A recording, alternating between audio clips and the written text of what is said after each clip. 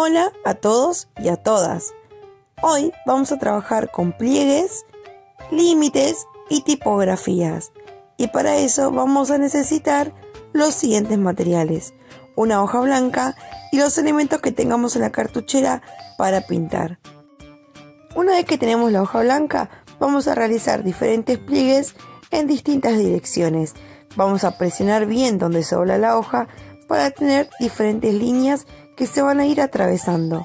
Una vez que completemos toda la hoja con diferentes direcciones de líneas, esto nos va a llevar un tiempito de doblar con mucha paciencia y cuidado para que la hoja no se rompa, vamos a comenzar a remarcar todas esas líneas que se entrecruzan.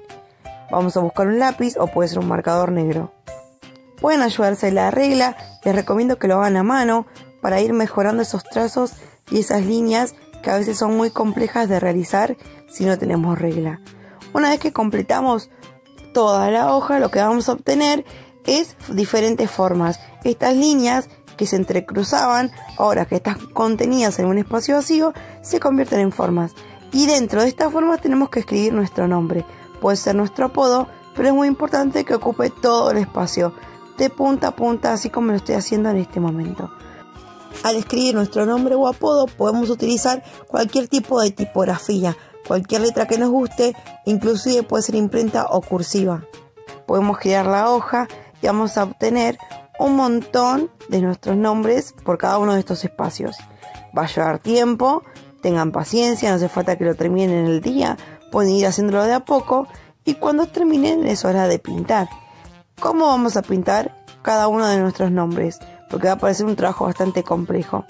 Vamos en busca de nuestra cartuchera a pintar con lápices, marcadores, fibras, inclusive podría ser con pintura. Y en cada uno de los espacios que quedaron vamos a pintar de diferentes colores. Ustedes eligen con cuáles.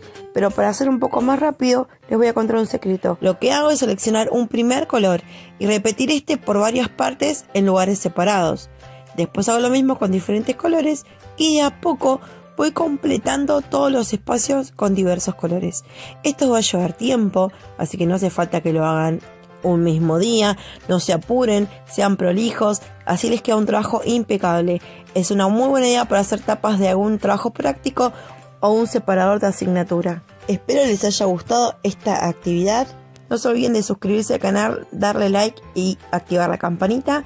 Les mando un beso enorme, prometo subir videos más seguidos y nos vemos muy pronto para seguir aprendiendo juntos.